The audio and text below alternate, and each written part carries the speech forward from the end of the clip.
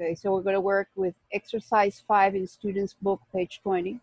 Negative prefixes, we're going to work with the prefix un and in.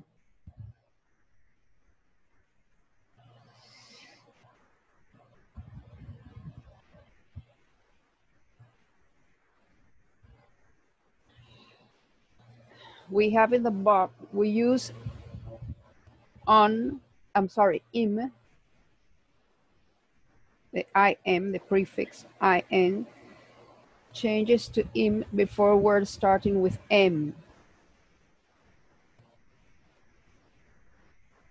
Okay, what we have, we have on and in, but when you have a word that starts with m, like moral, the N changes to a M, it would be immoral. Only in the case the word starts with an M, like in this one.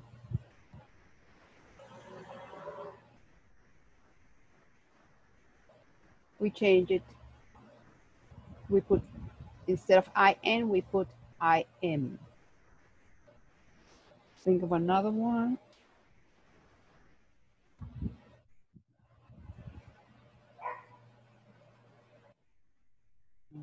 Coming in.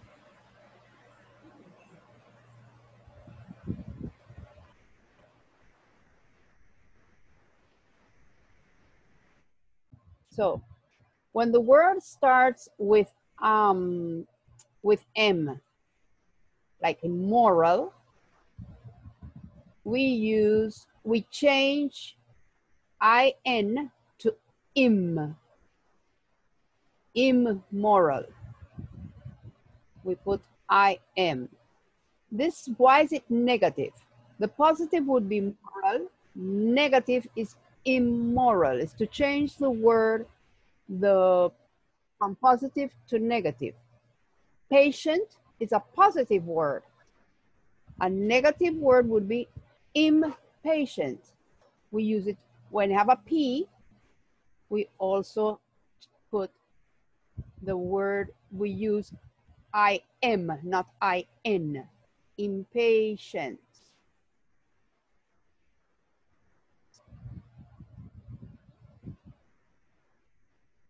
Estamos cambiando las palabras, sorry, from the positivos a negativos, adjetivos positivos a negativos, con los prefijos, prefixes, okay? En el caso de, cambia de, tenemos los prefijos UN y N. En el, cam, en, en el caso, estamos en unos casos particulares, en el caso de que la palabra empiece con M, con P, con, o sea, varios, varios casos que vamos a ver así, eh, creo que no hay ningún otro más así, este, son los momentos que en vez de IN cambia a M. Entonces está cambiando de positivo a negativo. Estamos en el ejercicio 6, la página 20. pueden ir aquí como en M. Ok. Cambia esto a IM. Patient a impatient. Veremos más palabras después. ¿Cómo elimino eso? Okay. So let's continue.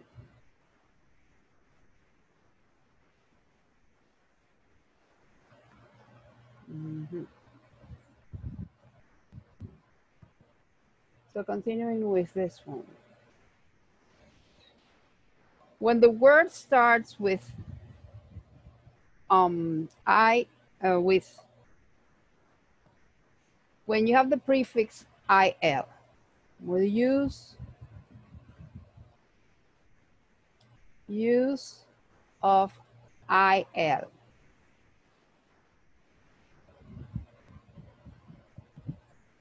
We use IL for words that begin with L, okay?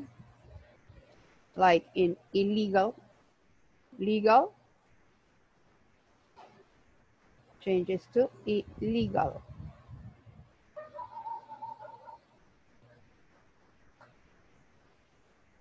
Logical, illogical.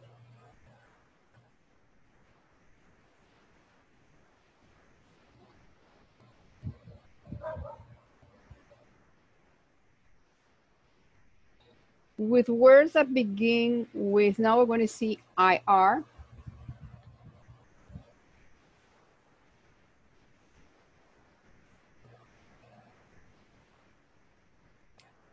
Words that begin with R, like responsible. Responsible.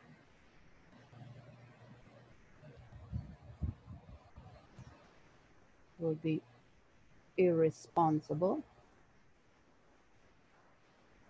Um, relevant, irrelevant,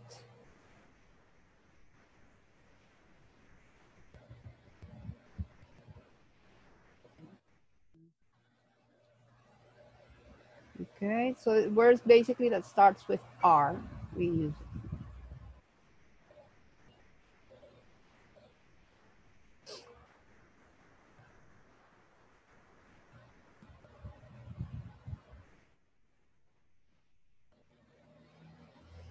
the, this is a case is that the IN changes to IM. It changes to IM or changes to IL or changes to IR. Only when you have an M or a P, it changes to IM. Only when you have L, la palabra empieza con L, you change it to IL. And when it starts with a R, you change it to IR. In all the other cases, all the rest, we use IN, for example.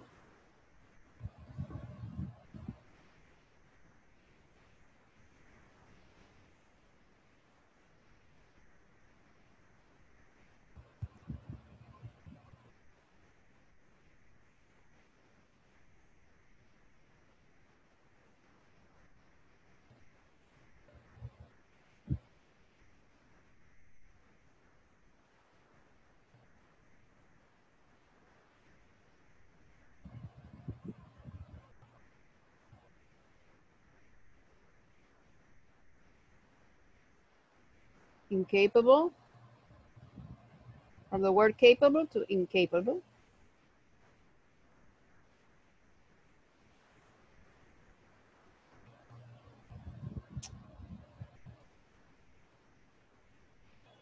Okay. Oh, great. Um, convenience.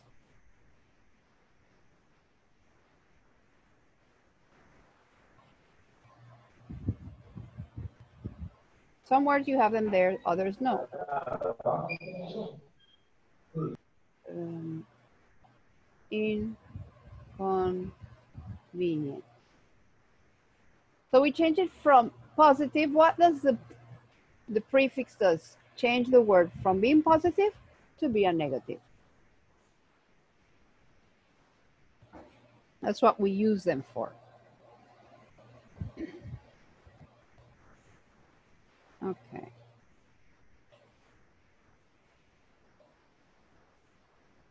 These are these examples. Let me see.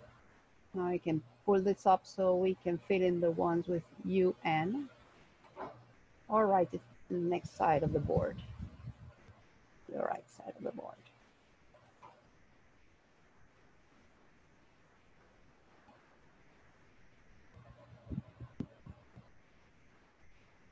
Okay, so on this side, we saw the use of the, the IN,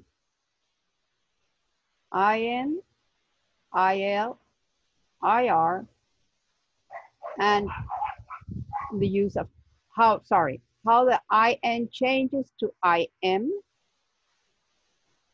Then we saw IL, how it um, the use of IL. Not always, you will see that it's not always with L. It's words you have to learn. IR, the use of IR, and the rest that we use with IN, what we really use with I, incapable, inconvenient. We'll find other words. Now we're going to see the words, the use of UN, The sound is un. So, sounds un. So we have words as aware changes to unaware, uh, aware, um, usual changes to unusual. Uh, likely, this one is a, a tricky one. It's unlikely.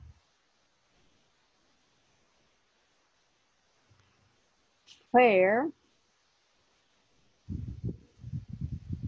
changes to unfair. There is not a, a, a rule as such that you can follow to know when they change, when they use in, IR. Some you may, but not most of them. It's, you have these situations. For example, you use UN as you can see when it has, it starts with a vowel. Starts with a A, a U, unaware, unusual, um, inaccurate. There's a lot of words that you can look them up. But it's for you to know that we use the prefixes. It's not maybe the negative prefixes. What they do, they change the word to a negative. It's to, from positive to negative. The thing is that we're going to work with certain words for the following sentences. And um, the, the idea is for you to understand what is the word and in which sentence it would be the correct use.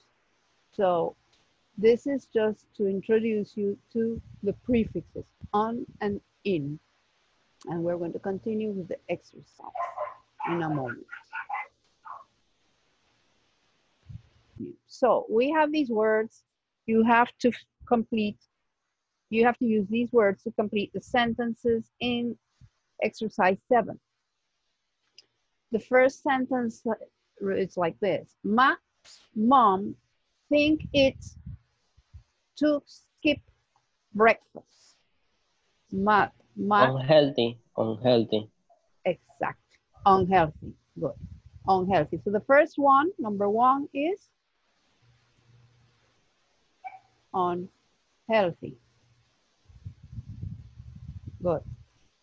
And we go with the second one. Let's read the second sentence. The second sentence says, Lucy thinks Matt's of being on time. Of being on time is to be, since it's the negative thing of being on time, so he's not on time. So he is Si no estás a tiempo es of these words. Uh, well, of being on time, he's, um, we would use, Responsable. Responsable. could be irresponsible, or it could be incapable, incapable, o sea, que estuviera no fuese capaz de estar a tiempo. Incapable. Vamos a ver. Yo pondría incapable porque vamos a ver cómo resuelven las otras.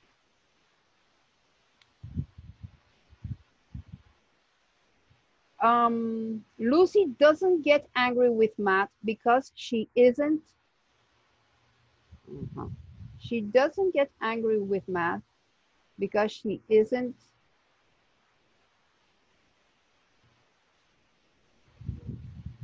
Mhm.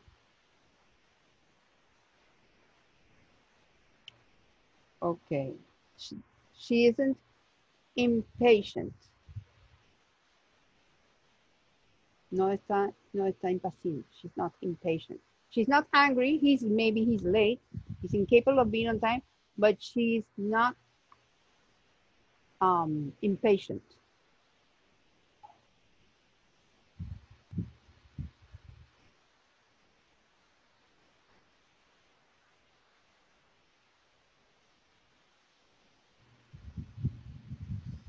Okay, the passenger says she's unlikely to get to her meeting on time. There is some delay in the train, the, the, the, where they're going. So the passenger says it's unlikely for her to be on time. Unlikely means um, translated would be like, uh, how you say, no pudiera estar a tiempo. We'll find some somewhere. So the passenger says says she's unlikely to get to her meeting on time.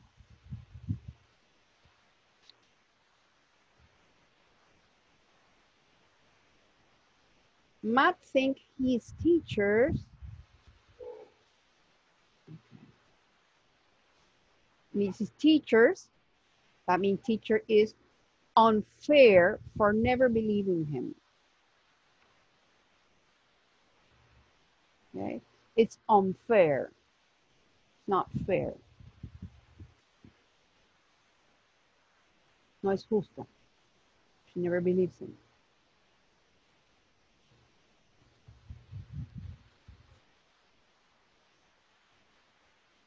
Um,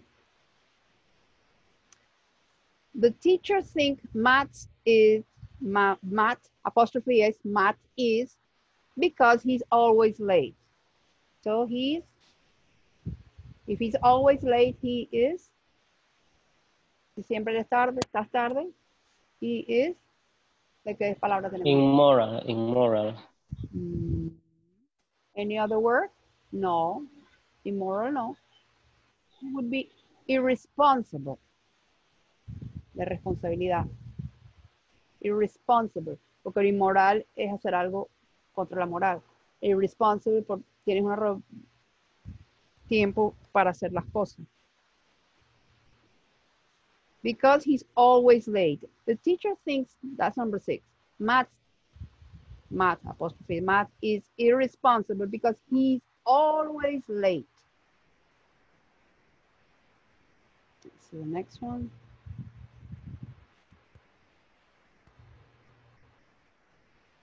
Seven. When Matt records people, they're mm -hmm. The, okay, when he records people,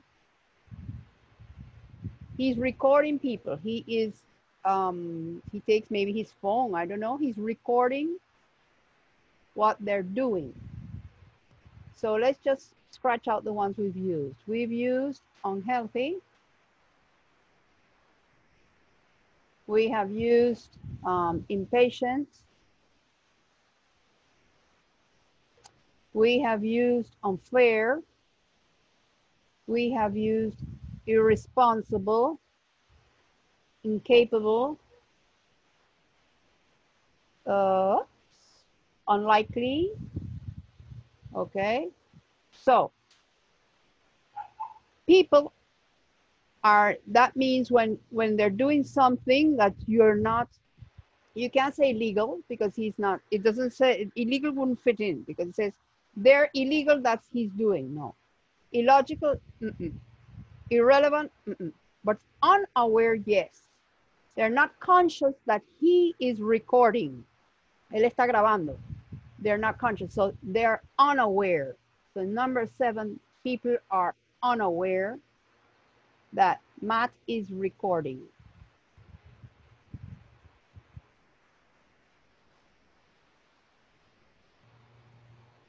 So The next sentence, what is Matt doing? He's recording people in the street.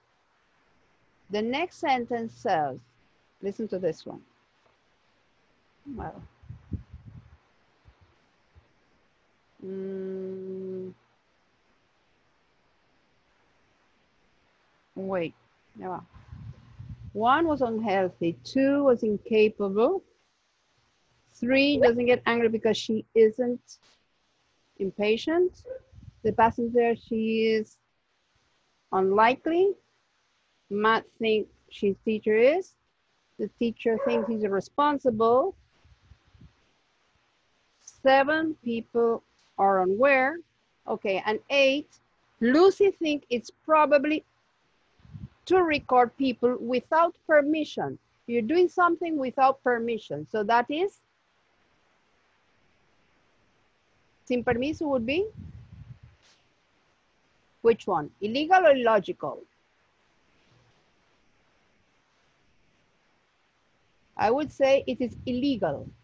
illegal.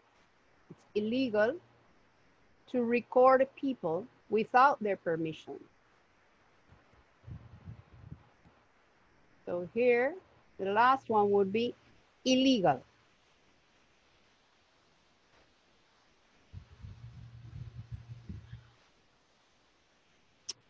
So these are the use of these words. What I would like you to do, if you're not, um, to write, to find the meaning of each word for your own use. And in our next class, that's tomorrow, you're going to write some sentences that are um, similar, same or similar for you, okay? using these words. So um, we'll see you tomorrow and we'll work on this.